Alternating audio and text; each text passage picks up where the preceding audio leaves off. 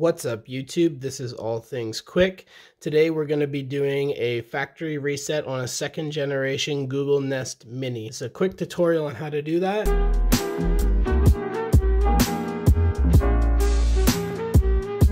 We're going to jump right in and we're going to start off by turning the microphone off. The mic's off. We're going to hold the center button here for five seconds. You're about to completely reset this device. Release to cancel. You just keep holding this until it makes a tune.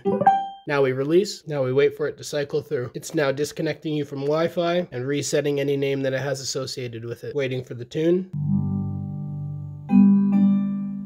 Hi, to get started, download the Google Home app on a phone or tablet. The mic's off. We're now going to turn the microphone back on. The mic's back on. And now our Google Nest Mini is factory reset and I'm going to link a video right here and I have another video that shows you exactly how you can set it up on your Wi-Fi network. There's two ways that you can do that. One, if it's been disconnected and two, if you're setting it up for the very first time. So I'll link that video up here. Make sure you check that out. And if you like that video, appreciate you guys sticking till the end and watching that. Leave a thumbs up. It helps me out a lot. It lets me know that you guys are enjoying this content. Comment down below. Let me know if this actually did help you and if you have any suggestions for future videos. And don't forget to subscribe. So we'll see you in the next one. See you later.